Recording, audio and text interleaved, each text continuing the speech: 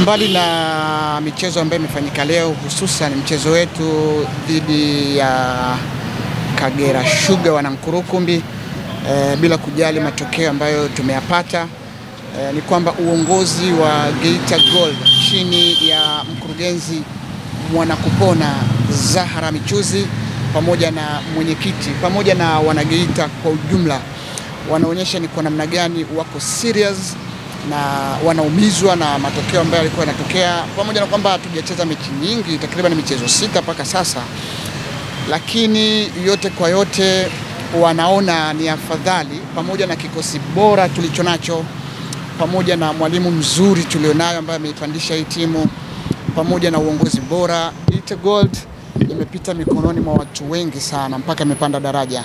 Ni kwa sababu tu taratibu za kuongoza soka e, taratibu na kanuni za uongozi. Hatupaswi kuwa viongozi watu hamsini ishirini, e, lazima kuwa na utaratibu, lakini viongozi waliopo chini ya mkurugenzi Zahra Michuzi inawawakilisha watu wote ambao wana mikono yao Geita, wanaumwa na Geita inavyofanya vibaya. Kwa hiyo tunaamini tuna kikosi bora, lakini tumeona tukiongezee nguvu kwa maana ya kuomba, kwa sababu dirisha dogo liko karibuni hapa kufunguliwa. Kwa hiyo muda sio mrefu e, tumepeleka barua ya maombi kwa kufuata kanuni na taratibu za soka, kuuliza uongozi wa Young Africans bei ya wachezaji kadhaa, takriban wachezaji watano hivi, ili waweze kuitumikia Geita Gold katika nafikiri mpaka Januari. Kama mazungumzo yataenda vizuri, basi tutawachukua wachezaji hao na hatimaye watakuwa wanaitumikia Geita Gold, matajiri wa dhahabu wananzengo wa kanda ya Ziwa, na tunawaheshimu sana Young Africans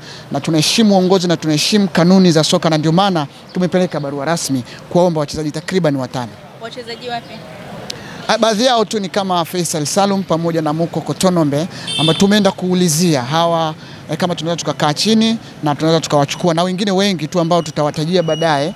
Eh, kama mazungumzo yataenda vizuri, basi wataenda kukipigia Geita. Hii inaonekana ni kwa namna gani uongozi wa Geita chini ya Zahara Michuzi wako serious kuhakikisha Geita inavuma na kanda ya Ziwa inavuma kisoka kwa ujumla. Na kwa nini imekuwa klabu ya Yanga tu?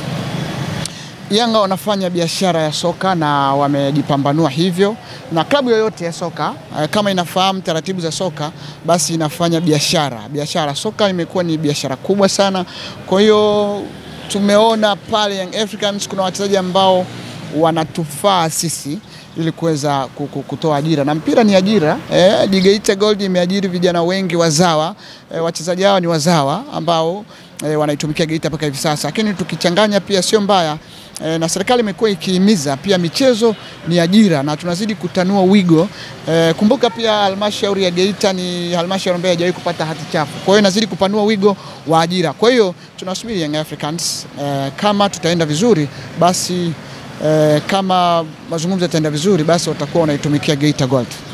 Ukwasi huu umeutoa wapi ama jeuri hii ya fedha mmetoa wapi kuwahitaji wachezaji watano nyota wa Young Africans? Teke la mwisho la farasi anayekufa huwa na nguvu, ndugu yangu, na Geita Gold ni halmashauri ambayo ni tajiri, sawa eh? Ni halmashauri ambayo ilikuwa ikiongoza kwa ukusanyaji wa mapato. Kuna machimbo kule ya dhahabu na hii timu sio maskini, ndugu yangu, miongoni mwa timu ambayo ukiangalia sign fee ya wachezaji Eh, karibu asilimia tisini wamemaliza, yani wamemaliza kuliko eh, na unaona utaratibu mwingine mpaka wanafika msimu mwingine hawajamaliza, lakini sisi kwa asilimia tisini tumemaliza. Ile klabu sio sio maskini kama unavyoona eh, ni klabu tajiri sana, ndio maana tumeamua kufanya hivyo. Hili ni jaribio ama kweli mmedhamiria? Eh, eh, unauliza kwamba tumedhamiria na ndio maana tumekuwa serious na hilo. Tumedhamiria ndio maana tumekuwa serious na hilo. Yaani tumedhamiria kweli kweli. Unajua tumesuasua hapa kidogo, lakini sio kwamba tumekuwa tuna timu mbaya. Angalia namna Azam walitufunga dakika za mwisho, angalia michezo ambayo tunapoteza. E, sio kwamba timu inapoteza alafu imezidiwa kwa kiasi kikubwa, ni matatizo madogo madogo tu, ndio ule wanasema mm, ndio kwanza tunalimbuka. Mapema mapema. Unajua timu ni changa hii, lakini sio kwamba ni masikini, lakini wachezaji pia sio wachanga, ni kwa sababu ya kuzoeana tu na timu ni mpya, lakini naamini tutakaa sawa.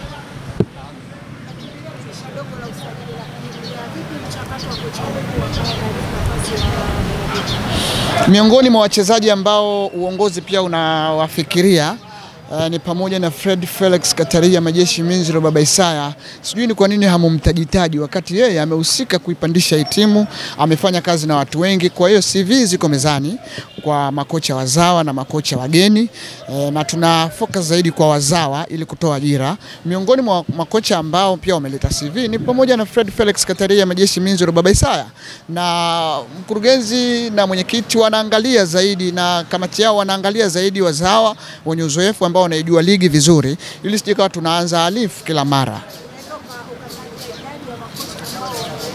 Siwezi kuwa na idadi lakini ni zaidi ya makocha kumi na tano wazawa na kama watano wa nje ya nchi. Kwa hiyo tunatoa kipaumbele zaidi kwa wazawa kwa sababu hii ni timu ya wananchi, wana wananzengo wa kanda ya Ziwa kwa ujumla, na inatoa ajira kwa wazawa, iko kwa ajili ya kusaidia pia uchumi wa Tanzania.